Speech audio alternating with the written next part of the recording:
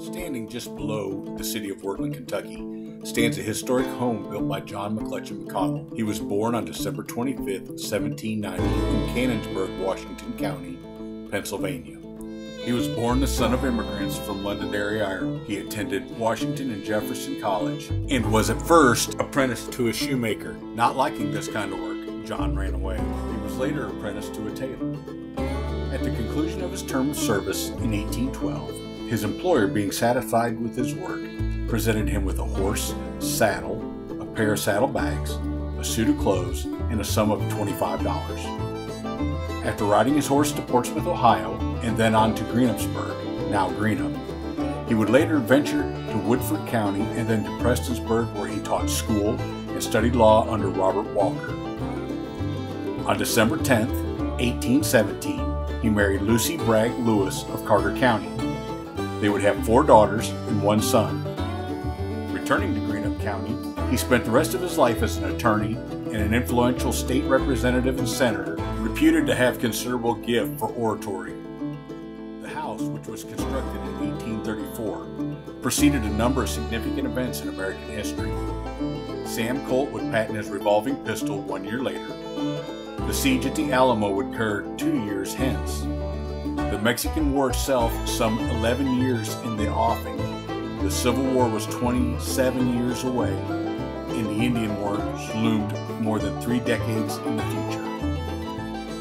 Andrew Jackson was President of the United States, and James Fenimore Cooper was in the midst of writing the Leatherstocking Tales. Beyond the house, there stood a cannery, an explosive manufacturer, an early railroad line, and a river landing.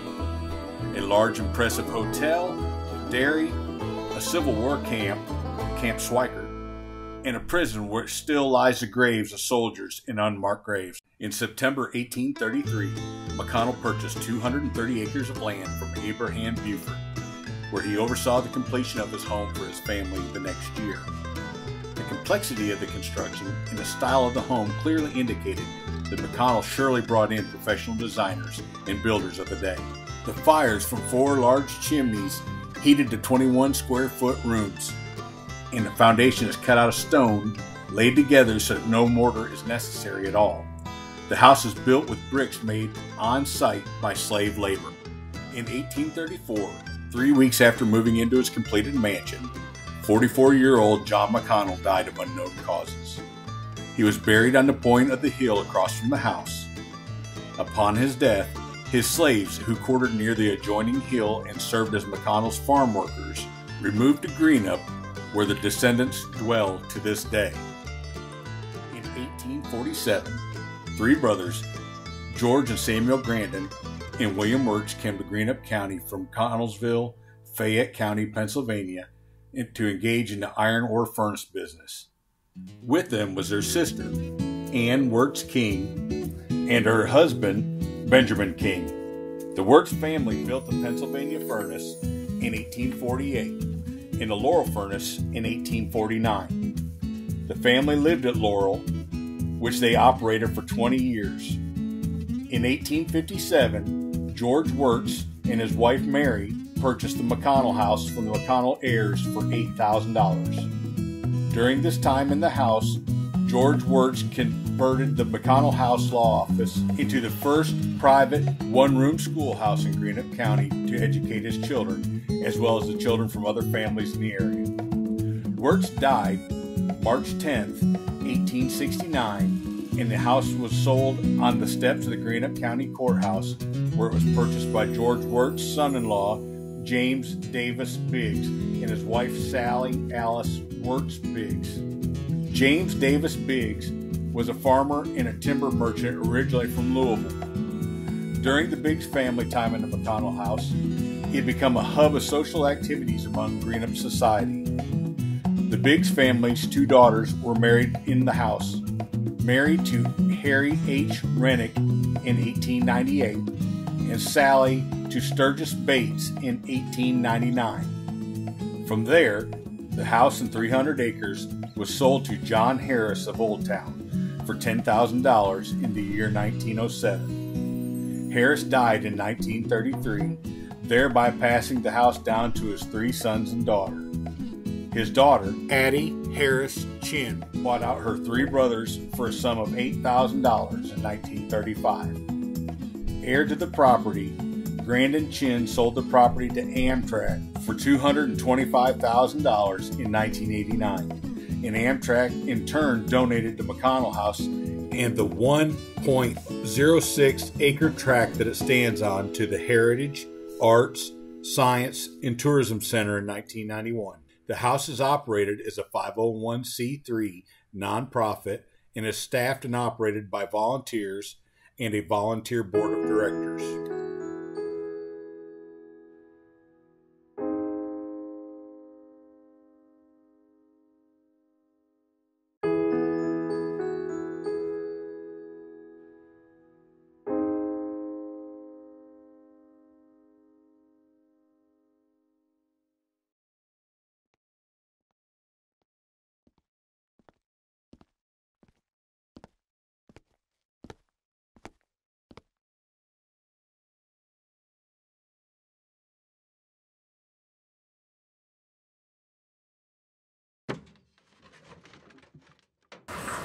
To the historic McConnell House. Let's go inside for a tour.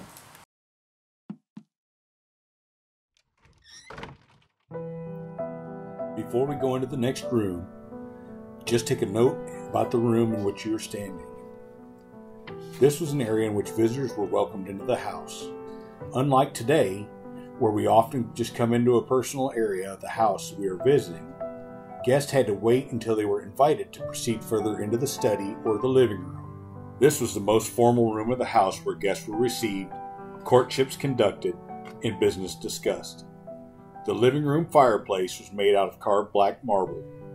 The woodwork, transported by ox teams from the dismantled 18th century Columbia Hotel in Louisville, was meticulously finished by a unique feathering process that resulted in a fine wood grained appearance. The fireplace surround is carved out of marble. The north wall contains pictures of the McConnell family and many of their descendants. The pictures on the far right is the four McConnell daughters, which were taken in 1860. The picture on the far left is of Mrs. McConnell, taken after John's death. On the west wall is a copy of John's handwritten will. This room contains a copy of the certificate placing the home on the National Register. To the left of the certificates is a plaque listing our 15 corporate sponsors who help us operate and maintain the home.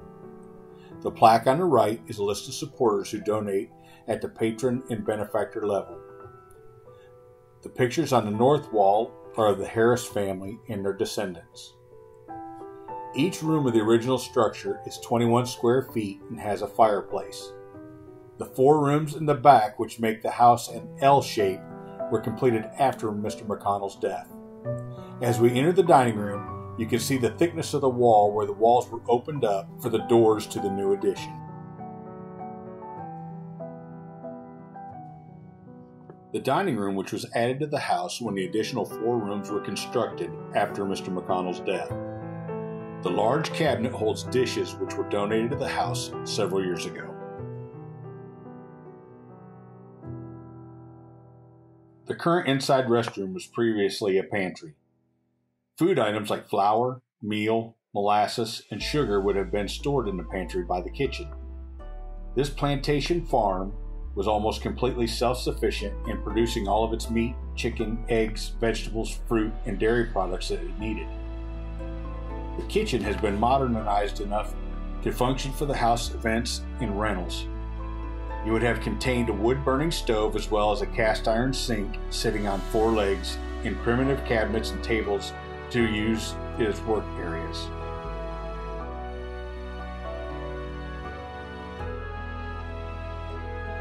Now let's go out back to the entrance foyer and proceed up the stairs to see the bedrooms, the educational exhibits, and the traveler's room.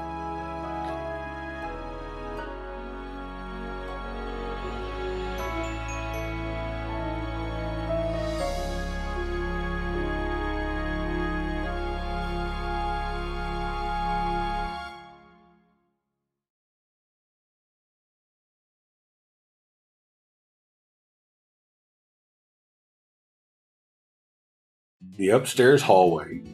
This small area would have been used as a sitting area for only family members. It is also the entryway to the upstairs porch, which would have provided an observation area overlooking the great lawn and the tree lined lane leading to the house. This room would have been the master bedroom. The light fixture is original to the house. It was an oil lamp which would have hung over the dining room table. It has been modernized and wired for electricity. There would have been a bed, a dresser, and an armoire. Notice the lack of closets in the bedrooms. The armoires, or clothing presses, were used to store extra clothes, but they did not have the amount of clothes even in the wealthier households that we have today.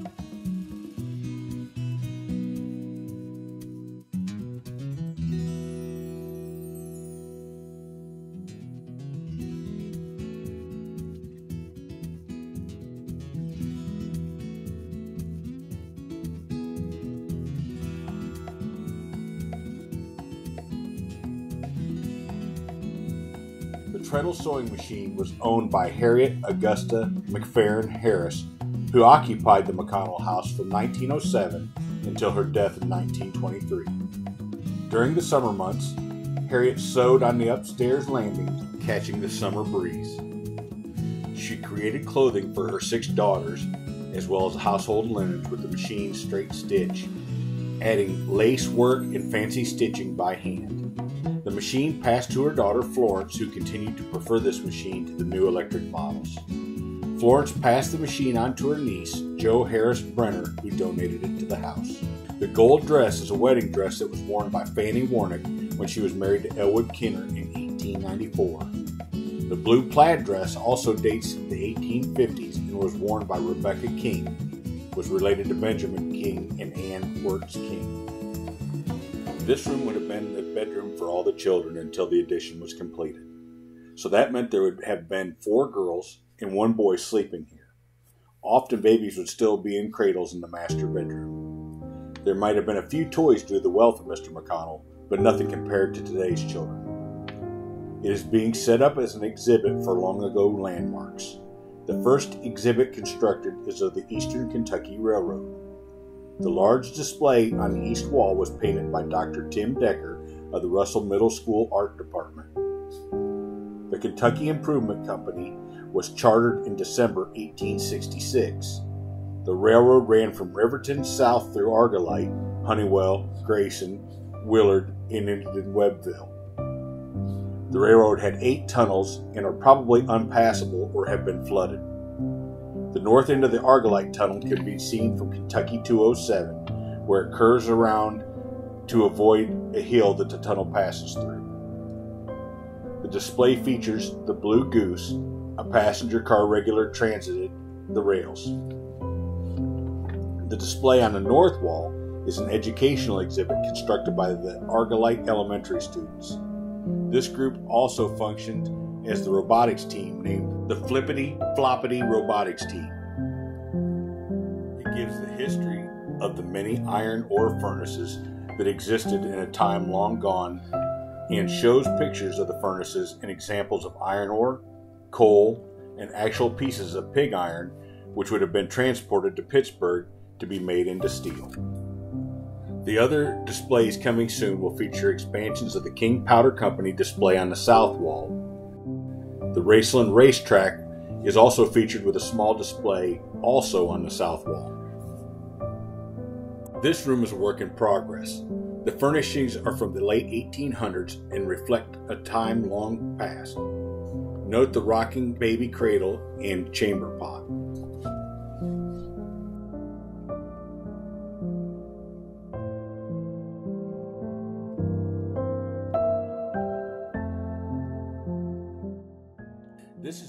Room to the house. It's the traveler's room. This room is connected to the rest of the house only by the outside. Its purpose was to provide a safe, clean resting room for people who were passing by, traveling by riverboat or horseback. It also provided free lodging for the night for any traveler. It is furnished as it may have looked back in the mid 1800s with furnishings of a bed which dated back to the mid 1800s, along with a nightstand, washstand, and chest. There were no accommodations at the time like we have today with the Comfort Inns and Sheratons. Access to the attic is also gained from this room.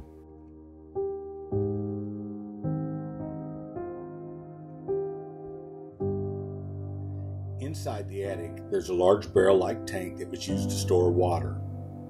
A windmill off the side of the porch, which was later blown over in a severe thunderstorm, set in motion a pump which drove water up to the attic into this barrel like tank.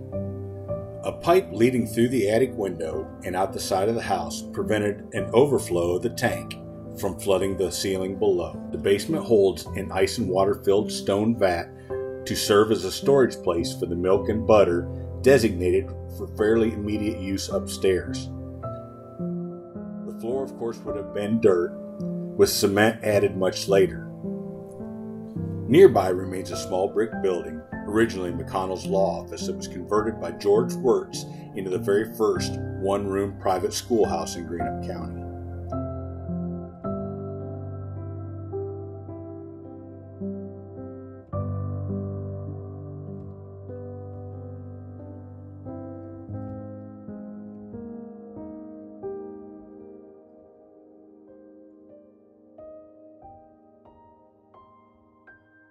Is furnished with items that might have been in the early one room private school.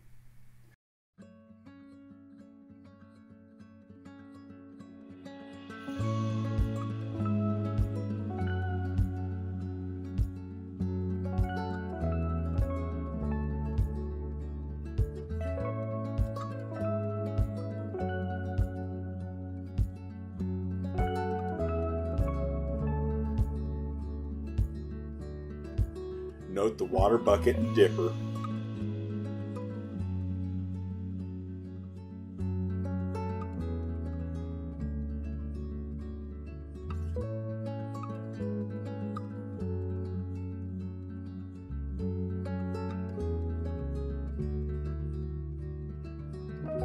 The flag over the teacher's desk, which had 32 stars, which would have been the flag displayed in 1858 when Minnesota was admitted to the Union.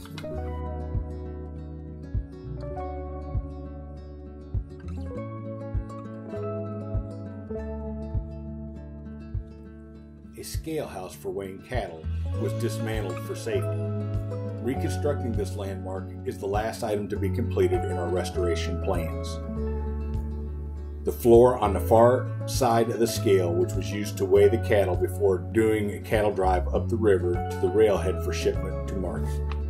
A two door brick building which stands in the back of the house is listed in the National Register of Historic Places as a slave quarter. It functioned as both a wash house and a coal house in later years.